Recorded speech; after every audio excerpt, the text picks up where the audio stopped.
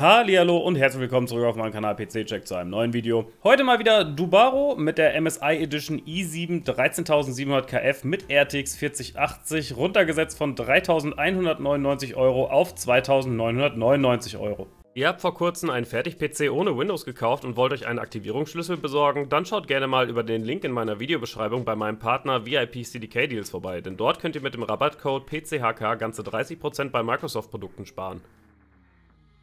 Zahlen könnt ihr ganz bequem via Sofortüberweisung, Visa, PayPal und so weiter. In meinem Fall habe ich PayPal gewählt, weil dies für mich die schnellste Variante war. Danach werdet ihr automatisch in euer Benutzerkonto weitergeleitet und könnt euch dort den Code anzeigen lassen. Den kopiert ihr nun, sucht über die Windows Taskbar nach Aktivierungseinstellungen, fügt dort euren Code ein und ihr habt nun ein aktiviertes Windows.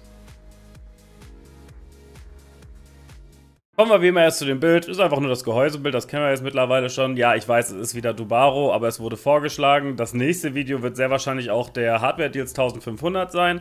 Wurde mir auch schon vorgeschlagen. Dann haben wir Dubaro erstmal wieder hinter uns. Aber wenn die Leute sich das wünschen, dann mache ich das natürlich. Also wie gesagt, das Gehäusebild ist nichts dran auszusetzen, ist völlig in Ordnung. Der Prozessor ist ein Intel i7 13700 KF. Den hatten wir ja auch schon bei dem Hardware Deal 2500 Euro PC. Der hat 16 Kerne, 8 Performance und 8 Efficiency Kerne, beziehungsweise 24 Threads 16 Performance Threads und 8 Efficiency Kerne. Das ist auf jeden Fall ein sehr, sehr guter Prozessor. Zum Zocken, zum Streamen und so weiter wunderbar geeignet. Habe ich auch alles schon gesagt bei dem anderen PC, aber vielleicht sieht das jetzt jemand gerade das erste Mal und da wollte ich nochmal sicher gehen. Der hat eine TDP von 125 Watt, kann sich aber bis zu 253 Watt genehmigen, wenn man den übertaktet und das geht mit dem Mainboard, was hier verbaut ist, dann kann der sich auch durchaus mal 300 Watt genehmigen. Da muss auf jeden Fall ein guter Kühler verbaut sein. Und er unterstützt offiziell DDR5 5600 MTS bzw beziehungsweise DDR4 3200 MTS. Den könnt ihr auch höher betreiben, sage ich immer wieder. 3600 oder gar 4000 geht unter DDR4 auch noch. Auch bei DDR5 könnt ihr da 6000 oder 6200 oder so verbauen. Das funktioniert. Ist einer der aktuellsten Prozessoren auf dem Markt. Danach kommt nur noch der 13900er in der Intel-Generation. Natürlich hat AMD noch die 7000er Varianten, aber die passen hier auf das Board sowieso nicht drauf.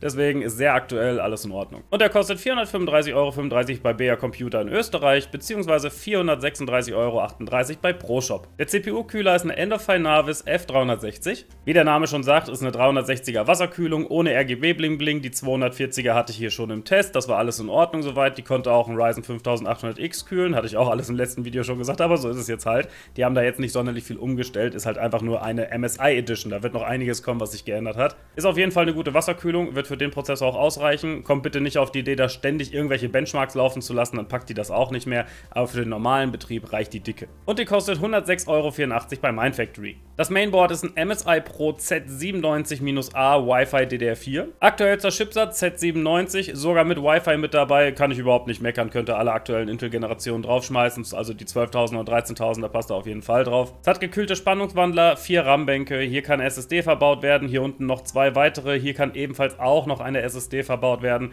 Hier kommt die Grafikkarte rein und hier habt ihr Erweiterungsslots für Capture Cards oder USB-Erweiterungskarten oder ähnliches. Was die Anschlüsse angeht, haben wir 7.1 mit Toslink, WLAN, Bluetooth Bluetooth-Antennenanschluss. Ich wurde in den Kommentaren gefragt, ob man die Antennen dran schrauben sollte. Ja, soll man.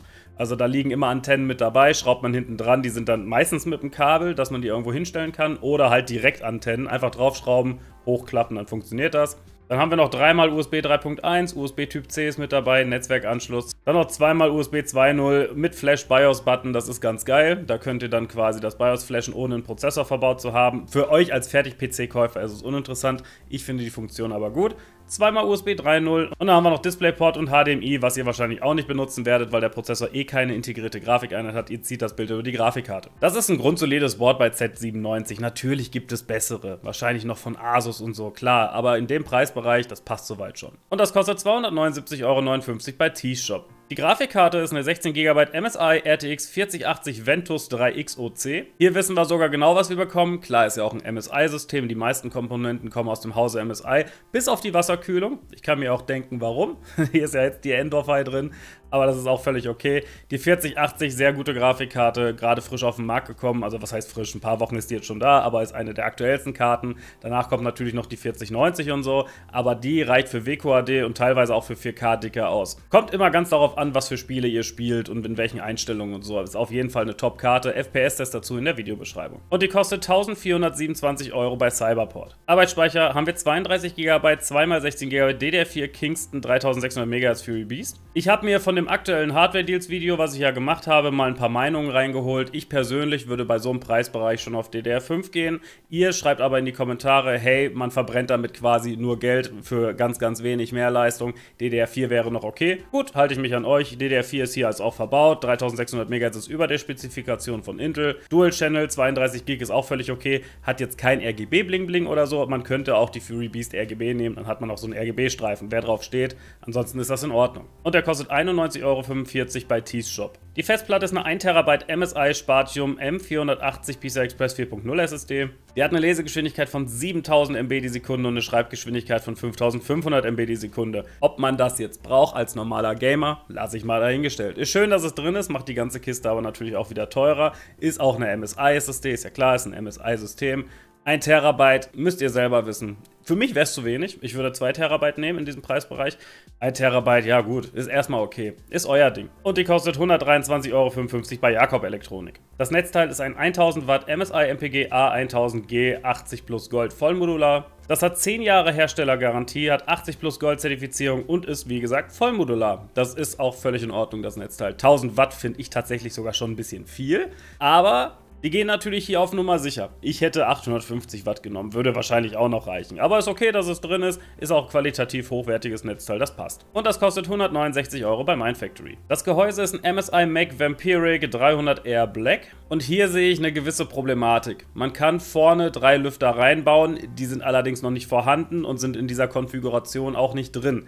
Die einzigen Lüfter, die dann hier dabei sind, sind einmal dieser Hecklüfter, der 120 mm und eben diese drei Stück von der Wasserkühlung, die sehr wahrscheinlich oben verbaut wird, vielleicht auch in der Front. Wenn sie in der Front wäre, wäre das schon noch okay. Wenn die oben verbaut wird, hat man halt kaum Lüfter, die irgendwie reinziehen. Beziehungsweise man hat überhaupt keine, die kalte Luft reinziehen. Deswegen gehe ich ganz stark davon aus, dass sie die Wasserkühlung wahrscheinlich in die Front bauen werden. Dann zieht er sich von vorne die kalte Luft rein und bläst hinten die warme Luft wieder raus. Anders geht's halt nicht, sonst entsteht im Gehäuse ein Unterdruck und das reicht nicht sonderlich aus, um irgendwas da drin zu kühlen wie eine 4080 oder so. Das hat jetzt auch nicht die krasse Mesh-Front, also gut, man hat hier die Seiteneinlässe und in der Front noch so ein paar Löcher. Das wird schon ausreichen, gehe ich ganz stark von aus. Also ich finde das jetzt nicht so pralle, das Gehäuse. Wie gesagt, wenn die Wasserkühlung in die Front kommt, ist das noch okay. Ich würde es mir aber wünschen, dass so ein Gehäuse zumindest mit drei Frontlüftern oder zwei Stück oder so daherkommt, dass dieser Airflow auf jeden Fall gegeben ist, egal wo man die Wasserkühlung reinmacht. Und das kostet 119,89 Euro bei Mindfactory. Betriebssystem ist nicht mit dabei, zwei Jahre Garantie haben wir auch mit dabei, nur Retourenschein im Reklamationsfall, müsst ihr selber zur Post bringen das Ding oder euren Postboten abpassen, wenn er an der Straße vorbeikommt. Ihr kriegt jetzt nicht so einen Abholtermin wenn was mit der Kiste ist und ihr sagt dann bei Dubaro, ey, irgendwas ist damit, dann schicken sie euch nur ein Label. Wie ihr das Teil dann zur Post kriegt, ist euer Ding. Und dann wären wir auch schon beim Endergebnis. Hier haben wir die SSD, den Prozessor, den RAM, die Grafikkarte, das Mainboard, das Gehäuse, die Wasserkühlung und das Netzteil. Und da landen wir beim Gesamtpreis von 2752,67 Euro. Das System soll kosten. 2999 Euro runtergesetzt von 3199 Euro. Ihr seht schon, eine Differenz von 250 Euro. Das ist jetzt nicht sonderlich viel, aber es ist in meinen Augen zu viel. Mit 200 wäre ich vielleicht sogar noch gegangen. 250 finde ich ein bisschen krass. Vor allen Dingen, sehr oft, wenn ich diese Videos über Dubaro mache, sieht man Preisaufschläge von 50 bis 100 Euro oder so. Und hier sind es 250 Euro. Und ich frage mich, wo das herkommt. Vor allen Dingen, das Teil ist runtergesetzt worden. Ich habe spaßeshalber mal eine Kreativecke-Konfiguration genommen und die umkonfiguriert. Die ID, die könnt ihr euch hier rauskopieren und dann einfach selber auch danach suchen. Da ist ein Corsair 5000D Airflow drin. Da ist der Airflow auf jeden Fall gegeben.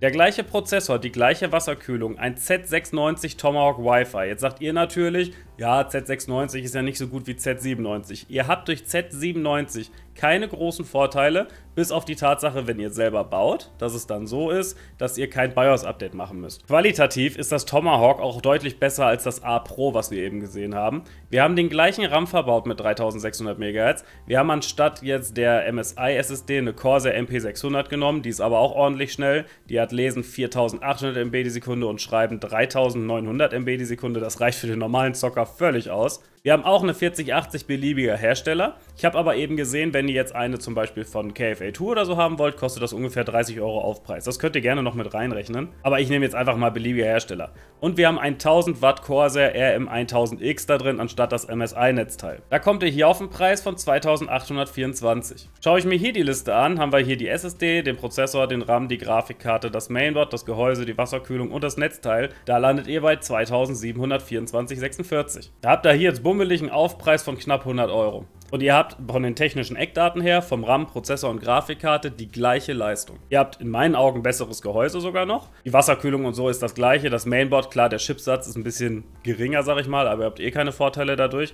Und äh, das wäre auf jeden Fall der bessere Deal. Ihr spart im Endpreis ca. 180 Euro und seid auch noch näher an der Geizheitsliste dran. Also ihr kriegt mehr fürs Geld und seid trotzdem billiger bei weggekommen. Also wer wirklich mit dem Gedanken spielt, sich so ein System zu kaufen, wenn es unbedingt eine 4080 und so sein soll, die ID hier, die kopiere ich euch auch unten unten rein als Link, wenn das geht. Ich hoffe, das funktioniert bei Dubaro. Ansonsten tippt das einfach ab im Konfigurator, dann habt ihr genau diese Config. Und kommen wir nochmal grundsätzlich zu diesem System. Ich finde es zu teuer mit 250 Euro Aufpreis, ganz klar. Und äh, diese SSD, die da drin ist mit ihren 7000 MB die Sekunde, das braucht kein Mensch. Ihr zahlt da einfach nur mehr für die Leistung, die ihr wahrscheinlich nie abrufen werdet. Also überlegt euch, ich verlinke euch das alles unten in der Videobeschreibung, auch die Geizhalsliste. Falls ihr selber für euch persönlich eine Konfiguration braucht, meldet euch gerne im Discord. Wir haben da ein Ticketsystem, da macht ihr ein Ticket auf und dann werdet ihr ganz normal beraten. Wir kriegen dafür auch nichts. Wenn ihr jetzt, sage ich mal, bei Agando kaufen wollt, dann stellen wir euch was bei Agando zusammen, überhaupt kein Thema. Und dann würde ich mich freuen, wenn euch das Video gefallen hat. Lasst ein Däumchen nach oben da, abonniert den Kanal, falls ihr es noch nicht gemacht habt. Bis dahin, auf Wiedersehen und ciao, ciao.